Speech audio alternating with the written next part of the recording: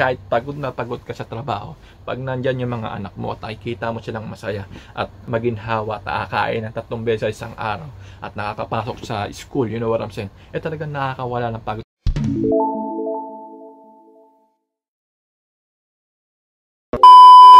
Hi guys! Today, today, today, today, today, today. Ha!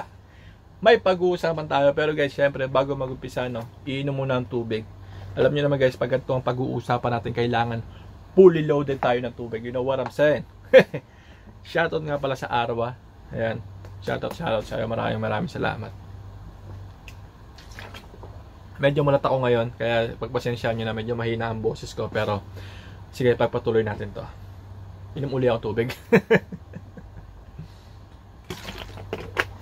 Siyempre guys, bago ako mag-umpisa, shoutout, shoutout muna tayo. Shoutout nga pala sa lahat ng subscribers ko dito sa YouTube channel ko. Maraming maraming salamat. We are 49,000 subscribers. You know what I'm saying? Hindi ko alam kung paano ko kayo pasasalamatan isa-isa. Pero maraming maraming salamat po. Maraming maraming salamat sa mga sumusuporta sa akin dito sa Facebook page ko. Ito po yung guys, lagi po nag-online, lagi po nagpo-post, lagi po nag-update. Hanapin nyo lang po, Titong Galit TV. You know what I'm saying?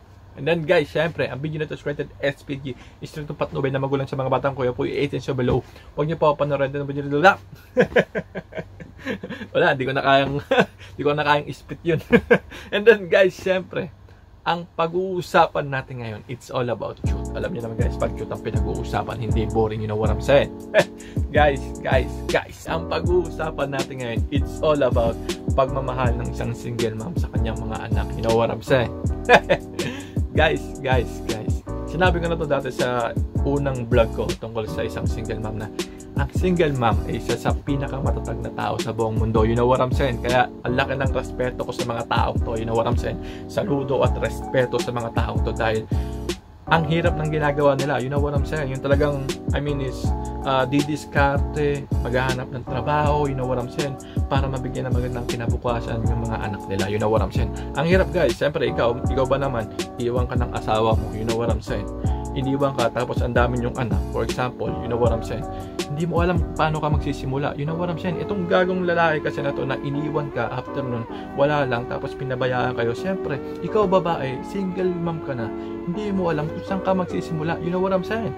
Di ba ang hirap nun guys yung hindi mo alam kung paano ka kung saan ka kukuha ng pera, saan ka kukuha ng pang-enrollment, pangkain, uh, pambayad ng renta ng bahay, pambayad ng tubig, kuryente, you know what I'm saying? Yung pagkain ng mga anak, you know, you know what I'm saying? Talagang iniwan ka, you know what I'm saying? Pero tapos hindi mo alam kung saan ka magsisimula. And after nun, syempre, pag nakakuha na siya ng trabaho, tapos nakakuha siya ng mga, syempre, ng sahod, tapos nabibigyan niya ng magandang kinabukasan pagkain ang kanyang mga anak, you know what I'm saying? Doon pa lang guys, saludo ko saludo na ako. You know what I'm saying? Yung diskarte ng isang single mom para sa kanyang mga anak. You know what I'm saying? Saludo at respeto sa mga nanay na ganun. You know what I'm saying? Sa mga tatay na nang iwan sa kanyang mga sa kanyang mga anak at asawa. You know what I'm saying? Mga putang ina nyo. 'Di ba? You know what I'm saying? Pero guys, sa totoo lang no, ang topic natin dito is all about single mom, yung pagmamahal. Pagmamahal ng isang ina sa kanyang mga anak. You know what I'm saying? Alam naman na, alam naman natin ang nanay eh pinibigay ang lahat. You know what I'm saying? Yun oras at panahon, uh, magandang kinabukasan, magandang school, um, uh, masarap na pagkain, uh, baon, you know what I'm saying? Lahat-lahat na lang binibigay ng isang nanay sa kanyang mga anak para alam mo yun, kasi ang nanay is ano yan eh, kumbaga yung sakripisyo parang kayang-kaya niya lahat, you know what I'm saying? Para sa kanyang mga anak. You know what I'm saying? Ang hirap mag isang maging isang magulang pero ang sarap maging isang magulang. You know what I'm saying? Yung hirap ay nawawala at pagod ay nawawala kapag ang anak mo ay talagang nandyan, ngumingiti, uh, yumayakap sa'yo, you know what I'm saying? Nakikipag-usap sa'yo, nilalambing ka, you know what I'm saying? Kahit pagod na pagod ka sa trabaho, pag nandyan yung mga anak mo at nakikita mo silang masaya at maginhawa at nakakain ng tatlong beses sa isang araw at nakakapasok sa school, you know what I'm saying? Eh talagang nakakawala ng pagod. Kumbaga, na-inspired ka, you know what I'm saying? Diba? Kaya believe na believe ako sa mga single mom dyan, you know what I'm saying? Kahit wala na silang asawa, yung mga batugan nilang asawa, iniiwan sila. Yung mga babaero nilang asawa, iniiwan sila. You know what I'm saying? Nandyan pa rin at nagtatrabaho pa rin sila para sa kanilang mga anak. You know what I'm saying? Diba? Dahil ang single mom, guys, eh, talagang hindi matatawaran ng kanilang sakripisyo. You know what I'm saying? Kumbaga, walang katumbas walang katumbas na anuman ang sakripisyo nila para sa kanilang mga anak. You know what I'm saying? Ang tatag ng mga tao to. You know what I'm saying? Talagang yung tuhod nila, yung tuhod nila, eh kasi tigas ng bakal. You know what I'm saying? Diba? Kahit hirap na hirap na yung tuhod nila, talagang gagapap, gagapangin at gagapangin nila yung mga anak nila para maiahon sa hirap o mabigyan ng magandang kinabukasan at magandang pagmamahal at maayos na pagmamahal. You know what? At may takot sa Diyos. You know what I'm saying? Itong mga anak nila. You know what I'm saying?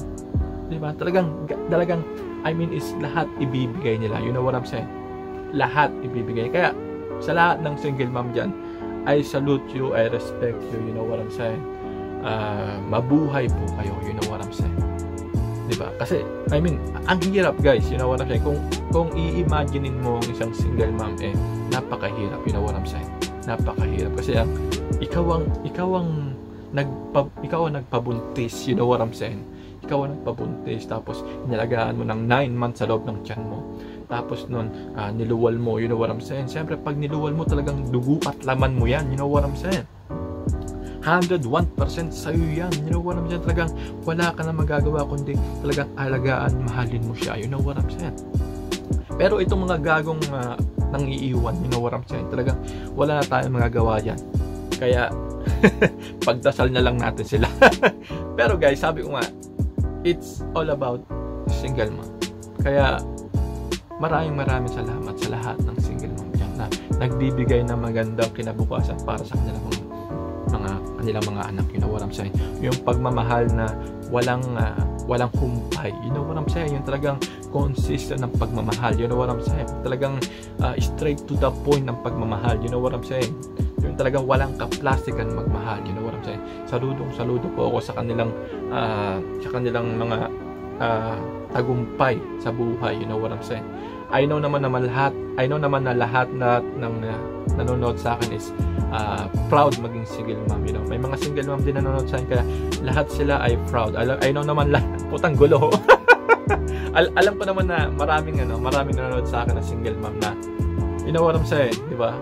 Na proud kayo sa sarili nyo na kahit wala kayong uh, katuwang sa buhay o katulong sa buhay na para may, may taguyod ang inyong mga anak eh talagang uh, you are so proud of yourself na kahit walang iba, eh, nagagampanan nyo ang isang pagiging magulang sa inyong mga anak. You know what I'm saying? Pero guys, sabi ko nga, di ba, uh, wala nang, wala nang ibang hahanapin pa at masasabi pa ako na single mom, nandyan na yan, di ba? Di ba? I mean is, uh, hindi, hindi pa naman katapusan ng mundo. You know what I'm saying? Makakahanap at makakahanap ka din ng para sa'yo. You know what I'm saying? Kumbaga, uh, nandyan, focus ka lang muna sa trabaho. You know what I'm saying? Mag-focus ka muna sa trabaho, focus ka muna sa anak mo.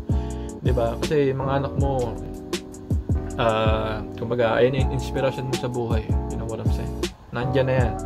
So, hindi na sila mawawala sa buhay mo. Pero kung ako sa'yo, mas maganda is just focus on your kids. Uh, bigyan mo sila ng magandang kinabukasan. What I'm saying? Alam ko naman na lahat ng single mom dyan eh madiskarte sa buhay I'm saying lahat lahat nga sabi ko lahat lahat eh gagawin nila para sa kanilang mga anak I'm saying so yun lang parang, parang wala lang ako sinabi dito ano ba naman yan pero sabi ko nga yan ang pinaka main point dito guys is uh, yun uh, respeto sa lahat ng single mom. Mas sana mas lalo pa kayong maging matatag sa hagdan ng buhay. You know you know what I'm saying? Alam ko naman na uh, hindi lang naman ikaw ang umaakit sa hagdan ng buhay. You know what I'm saying? Siyempre pag may anak ka pasan-pasa mo yan mga yan. Kahit alam kong dapat may katulong ka eh wala ka magagawa kundi kung ikaw na lang mag-isa iniwan ka.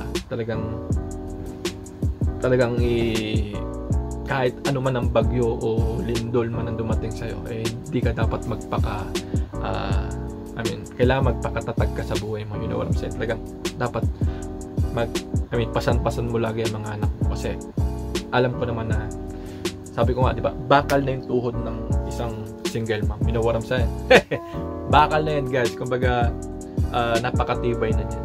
Di ba? Lahat ibibigay. You know what I'm saying? Sakripisyo. They sacrifice all their lives. All their lives pa. I mean, sinasakripisyo nila lahat ng oras at panahon sa buhay. I mean, sa buhay, sa buhay nila, yun na waram sa inyong buhay nila, kaya nilang isakripisyo para sa kanilang mga anak. So, there's no any other uh, explanation. Talagang, yun, saludo.